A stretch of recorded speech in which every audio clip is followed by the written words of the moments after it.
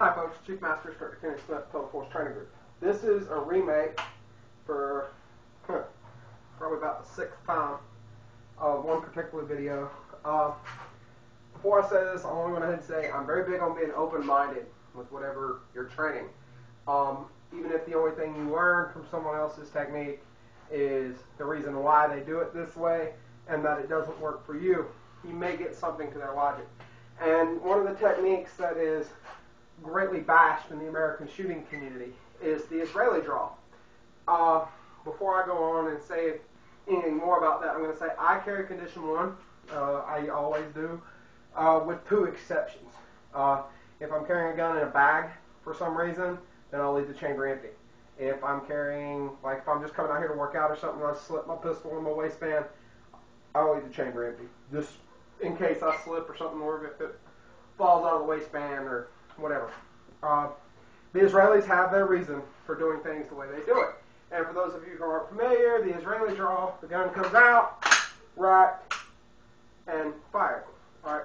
Obviously, this weapon is clear. I confirmed that multiple times before I uh, did that there. Uh, you know, I knew that for a fact. It was clear. It was verified and checked. You don't need to see me do that all the time. Okay. Obviously, it's clear. It went click, not boom. And I did verify that. So make sure if you're going to practice dry, you are ensuring that you're being safe about it. All right. I shouldn't have to tell anybody here how to be safe with dry firing. If you have a boom, boom, that's your fault, not ours. Um, back to the, the Izzy draw itself. All right. The gun comes out and I'm just being fluid about it. But uh, realistically, there's not much difference between that draw stroke and the American combat draw stroke. A lot of people who want to demonstrate this technique will do it like that. That's just not the way the Israelis train it. Um, have I trained on the Israeli draw? I certainly have with an IDF veteran uh, by the name of Mike Lee Kanarek. It was an actual live shooting course but it was a primer during a handgun disarming course. Uh, their logic to the to the reason they carry condition three and draw along the way dates back to when the IDF was first uh, instituted back in the late 40s, uh, late 40s during the War of Independence with the uh, Palmach Haganah, which are the, the forerunners of the modern Israeli Defense Force. Uh, the first standard pistol they had was the Browning High Power. Now, I like Browning high powers, but like all single action pistols, to be carried with around in the chamber, it really needs to be carried with the safety on. Uh, it can be, of course, be carried condition two with the hammer down on half cock, but that's never as advised. That's never advised.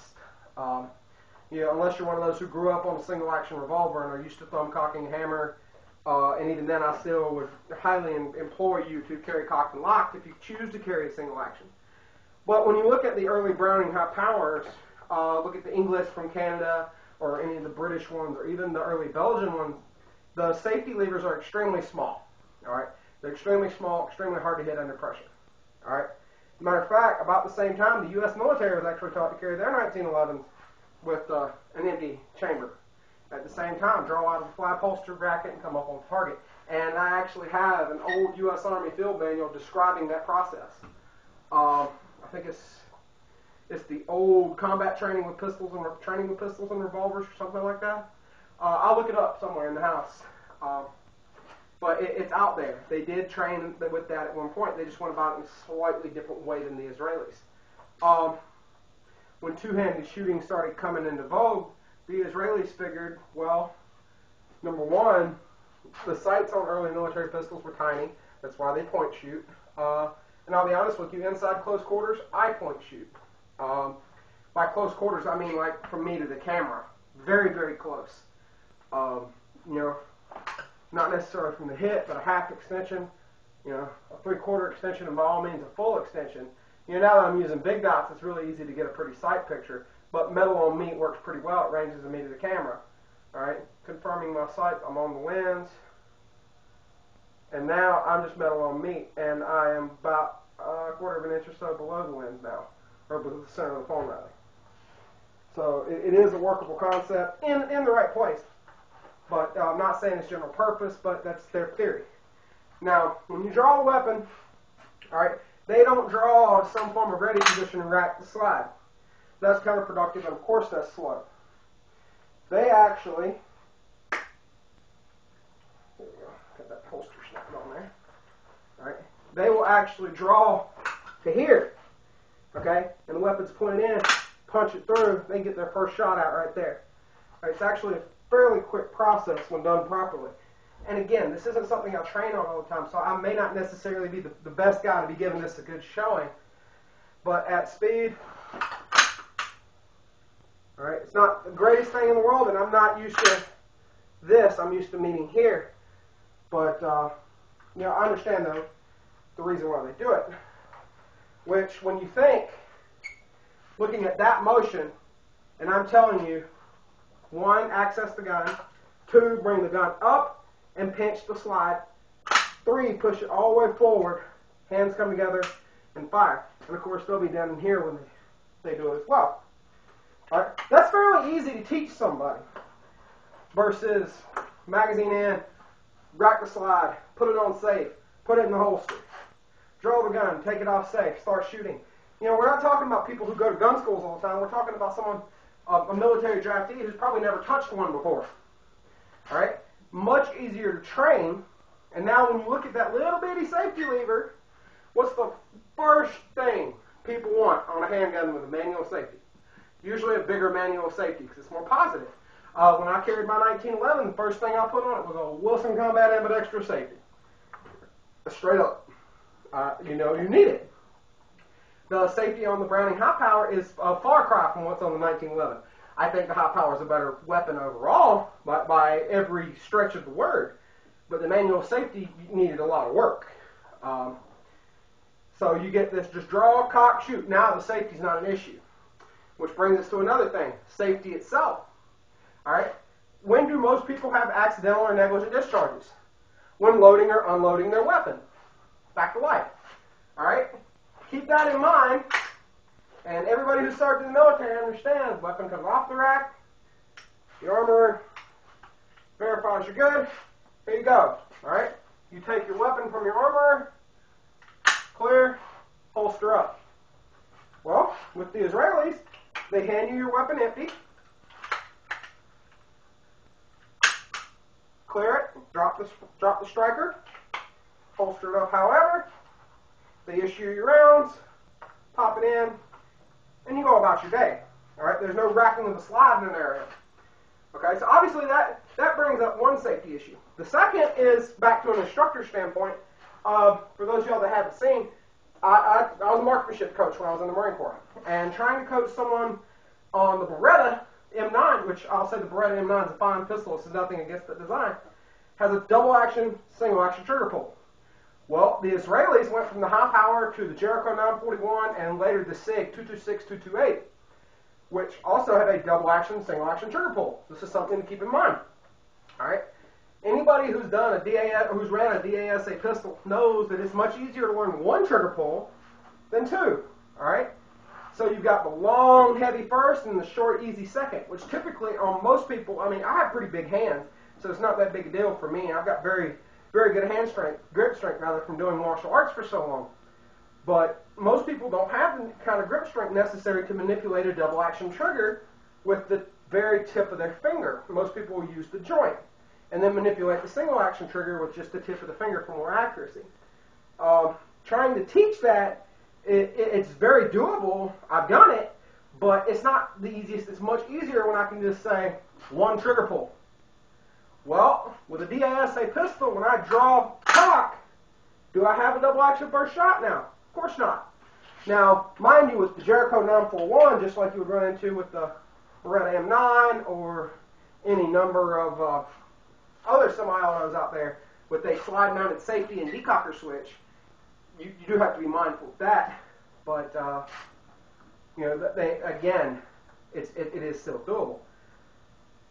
Each, each technique has its causes, and if I was if I was issuing a Jericho 941, Beretta M9, uh, Smith Wesson, pre M&P Smith Wesson semi-auto, excluding the Sigma and the SD, of course, that had a manual safety up there, or Ruger or something like that, that had that slide mounted safety, this would not be the technique that I would choose to teach, regardless of, of the reasoning, just because I wouldn't want to put the weapon on safe.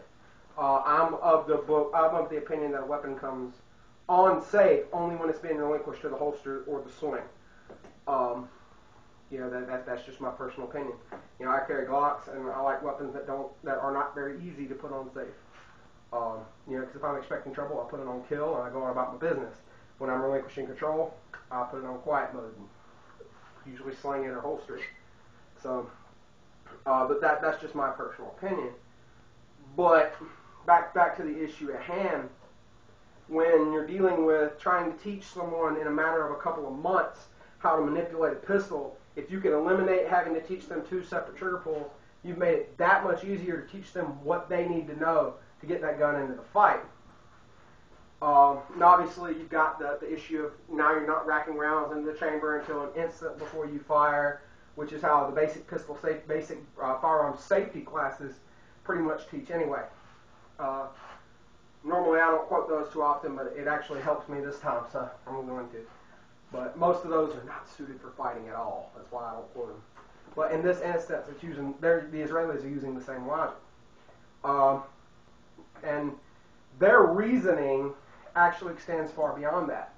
Israel being a fairly urban area, you know, let's say you're walking, you're walking, we're moving along, we're at left, the weapon comes up here. All right, I've taken my turn. Up real quick. All right, I've taken my turn and drawn my weapon into this, this position. Is it a threat? Roger. Rip it right through and get, get my shots off.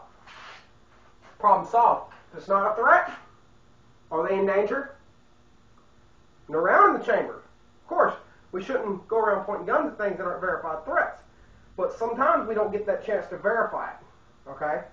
Uh, I know someone's going to fuss about this. The world is full of threats and they're in camouflage. We don't live in Israel. Okay? We don't necessarily have to worry about everybody walking beside us wearing a bomb under their shirt. All right? If we did, we would probably be a little bit more quicker about how we reacted to things. All right? You're sitting there, you're moving on about your business. Okay? Maybe you're an executive protection professional, plainclothes police officer, whatever, you're moving about your business. You see a threat, you're coming up in here. Maybe they drop their weapon and give up. You know? Oh, of course, you can go ahead and rack around in and, and take them into custody without firing a round. But suppose you come in here and now your partner is going to take them down. Your partner's not at risk of having a live weapon pointed at him. You can move your position. Okay? Again, could be as simple as mistaken identity. You're moving, you're moving, threat. Sorry about that. I didn't put around in the chamber. We shouldn't point weapons at things, but realistically, were they in any danger? I didn't say was it right. I said were they in danger? No. Uh, um, now I understand. Before I say this, I'm gonna, t- I'm gonna go ahead and say I know a lot of people that have been shot with unloaded guns. But let's be realistic. A weapon that we know for a 100% fact has no round in the chamber is not dangerous. It can't hurt you until a round goes in the chamber. All right. Now I'm not saying I'm not ever saying that assume a weapon does not have a round in the chamber. I'm not saying that at all. All right. What I'm saying is common sense dictates that we all know that this pistol is unloaded. And it's about as dangerous as the light bulbs over my head right now. Alright? The worst thing I gotta worry about right now is dropping it on my foot. Or when I lock the slide back and I go monkeying around in there showing it's clear and getting slide bit. That's a that hurts. Anybody hasn't had that happen? That hurts. I got I've not been slide bit with a pistol, but I got my thumb bit when M1 Garand when I was in high school. That's not fun. Alright? So their logic to why they use the draw, cock, and shoot is it gets the weapon into the fight safely and efficiently. Because they're not drawing and then cocking, they're cocking as part of the draw. Again, they're not coming here and waiting a second. Probably should have worn a different holster for this, huh? But they're as they're coming up, all right, they're drawing straight. I'm actually taking the time to get a sight picture. If I was doing this like an Israeli, Now boogered it and did it one more time.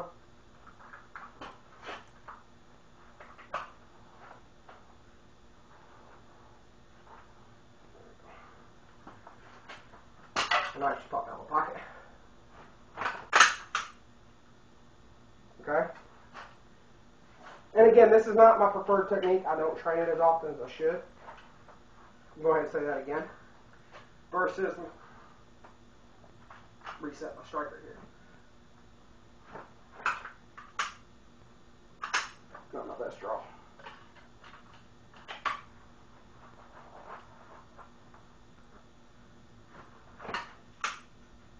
Okay?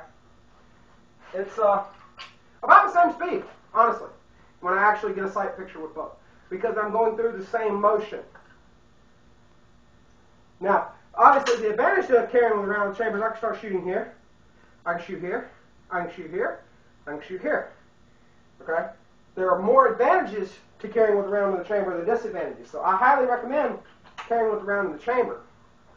But a lot of the reasons that I hear people just knocking their way of shooting are wrong. I mean, it, it's, it's not the way I prefer. But if you're going to call something wrong, call it wrong for the right reasons. Okay? Uh, why would I call it wrong? Doesn't work with every handgun. All right, obviously I wouldn't want to do that with a Beretta, Ruger P90, um, Jericho 941, something with a slick slide, like a really slick surface to the slide, like a Sig, Sig set or Sig, well, like a CZ75. You know, I wouldn't want to do it with that. I didn't like. I tried this technique a few times just to, to master it, not really master it, but just get a feel for it. With my 1911, when I was carrying it, it was a GI type slide. I don't like the crazy target one, the little nub sights. Great gun to one to point, one to point shoot with, by the way, uh, because of those little nub sights. But anyway, you know, it just it, it wasn't the easiest thing in the world to pull off, and the way my hands sweat, I don't know if I'd be able to do it under stress. But uh, you know, just something to keep in mind that just like everything else in life, you have to keep an open mind about it because maybe they're onto something. You know, if I were carrying in a bag, all right, if this gun were in a bag, let's see, do I have a bag laying around here? I do not. All right, so we're going to use a simulated bag. I'm going to put it in my hat. Okay? Got to wrap my hat around there. All right, this is my simulated bag, like a Maxpedition or something like that. I go in there, of course, you know, come out with it, round in the chamber, great, whatever. But at the same time, if I don't have a round in the chamber, maybe I rack the slide so the trigger's forward. Then I put my mag in. Someone off body carry, I don't recommend ever, ever, ever, ever. All right, because I'm friggin' clumsy and forgetful, and I leave shit laying around all the time. Leave your stuff sitting there. They pick it up, give me your wallet. What'd you just hear? Quick, right? Not boom. That can buy you some time, all right, to get your hopefully other gun back into the or perhaps even what popped out of my pocket earlier. There, there. Get that in the fight. Maybe even just the empty hand. Okay? Whatever it is, it buys you time when they go to rack that slide. Alright? Um, and I carry like that a lot. Mexican carry, no holster, and I'll leave the chamber empty just because dropping the uh, the weapon in the just the waistband of my grappling shorts, it doesn't necessarily uh, give me good retention, and that's just more to make sure that I don't hurt myself. But uh, they do have their logic, so at least hear them out. Uh, and if you really want some good training on this, look up Garrett Machine or Mike Lee Kanarek. Try and learn the Israeli draw from an American. Probably isn't the best idea in the world. Um, Ip Man, the, the Wing Chun guy, said water is purest from its source, and he's right. Uh, if you really want to learn the Israeli draw and get a much better feel of their technique, um, like I said, look up Michael Lee or Garrett Machine. They are Israeli. Well, Garrett Machine, if I'm not mistaken, is from Florida. But they both served in the IDF and they both served in special operations capacities. So they can tell you far more about it than I can. Uh, I, what little of the Israeli draw I know, I learned from Mike Lee. Uh, I can't recommend his instruction enough. I know he is really big on working with Garrett Machine, and that's all I need to know about the man. Uh, but anyway, I highly suggest that you at least hear them out. And this could go for anything. Let's say tomorrow you decide I want to take a traditional karate class. Okay? You're going to hear things from a different point of view, and it might not all be fight centered. But hear them out. They have their reason for doing kata and waza and the various techniques they do. Uh, so you want to go to a taekwondo class. You're going to do forms. You're going to do one-step sparring. You're going to do ridiculously gay point sparring, which I cannot stand. Even the WTF full contact stuff, it does nothing for me. I mean, it, it's stupid to be honest with you. It'll get it'll get you killed if you try to use those strategies in a fight. You know, you go to some uh, Hapkido Aikido schools, you're learning things from a very dated perspective. But every single one of those arts has its merit. And I'm going ahead and slay the golden goose too. You go to an MMA school, you're going to learn a lot about sport MMA. Keyword sport. A lot of things interchange, some do not. Okay? Rolling around on the ground, Brazilian Jiu-Jitsu. I train in Brazilian Jiu-Jitsu. And rolling around on the ground is the last damn place I want to be in a fight. But I'd rather be able to do it and then get on my feet than just get on the ground and go into vapor lock. Okay? So you have to take what's useful from everything you do.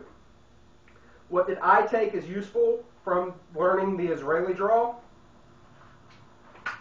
We're shooting, we're shooting, we're shooting, just like a normal American. Click, tap, rat. What's that? Same motion.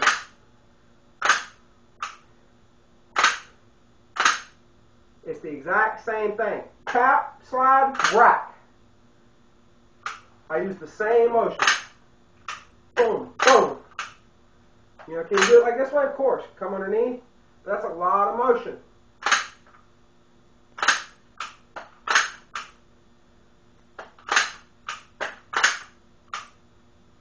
Make sense? Boom, boom. And by flipping the gun, throwing whatever's coming out of that ejection port out. Now I know some will actually, and there's nothing wrong with this, go this way. That's fine. Useful motion. And what is it? Where is it coming from? That Israeli draw. It's the same motion. All right? Where else can I use it? That hard punch forward. Both hands. I'm a Hapkido guy. Hapkido guys understand this. It's pushing palm. It's the same motion. One, two. All right? Maybe this person's right on top of me. I get one round off, bang, or I can hit him and hopefully get off three or four more. Okay? So it's the, the motions translate into other things. So keep that in mind. Uh, okay, let's go to the, more the shooting side of things. Some schools want you to shoot in Weaver stance. Some want you to shoot in isosceles. Some want you to shoot you in one of the two that they call their own. I don't care what you shoot in as long as you're getting good hits. Weaver stance to me is good for long range precision with a pistol. Isosceles stance is better for up close fighting. Neither one of them are well suited to walking and shooting, running and shooting, where one handed comes into play. So, whatever you're learning, be it the Izzy draw, uh, modern technique Weaver stance shooting, modern competitive type shooting in the isosceles stance, knife fighting, stick fighting, traditional karate, sport taekwondo, sport Brazilian jiu-jitsu, MMA, Krav whatever you're doing, all right, keep an open mind. Learn what they have. There's logic behind every technique. This is just a little bit on the logic of the Israeli draw and how it ties into things overall. Uh, that's just what I took from it. Your mileage may vary. I am leaving the original video up in the rain, but I'm going to link to this when I figure out how. Hope you all enjoy this. Stay frosty, watch your six, stay in the fight.